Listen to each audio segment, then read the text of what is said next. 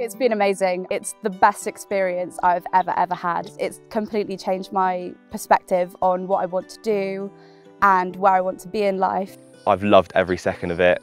It's beyond my expectations.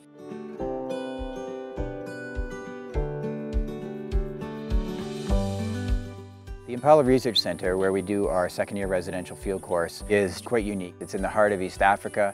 It's got the most amazing sunsets, sunrises. The savannah is beautiful, and perhaps the most amazing part of it are the animals. It's got giraffes, elephants, hippos, zebra, gazelles of all kinds. And from a zoological standpoint, it just provides an amazing launch pad for looking at animals from an experimental and research perspective.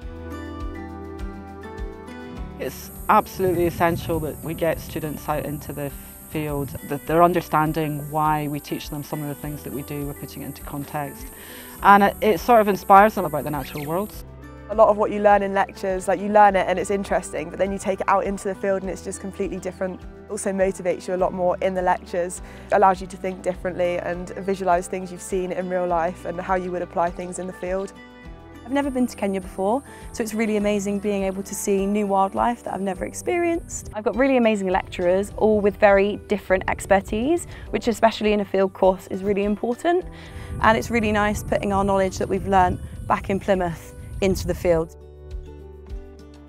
The typical day on a field trip involves getting up early. We tend to go out on an early morning game drive and spot as many mammals as we can see. We can also try and spot as many birds and then the rest of the day is often involves some kind of practical exercise and that might be looking at the bones, looking at invertebrates. We've looked at some sound files where we recorded birds and bats and then we usually go out on another evening drive so that we can see the mammals that come out later.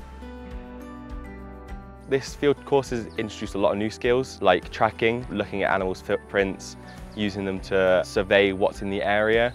But it's also really helped develop on skills, so identifying bones. We've also done invert practical where we go around collecting inverts and identifying them. So it's allowed me to gain loads of new skills and build upon previous skills learnt on my course.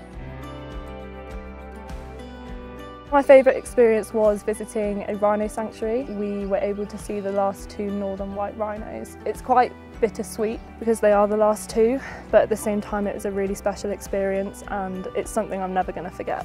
This field course has been the highlight of the course. It's great that you just get to see all these crazy wild animals just out doing their own thing and then you're lucky enough to just come along and experience it. It's a wonderful opportunity to understand animals. You can learn all about animal behavior, you can learn about their form and function in terms of their morphology. All of those factors together make Kenya just an amazing place to come and really is a spectacular opportunity for students to experience on a field course.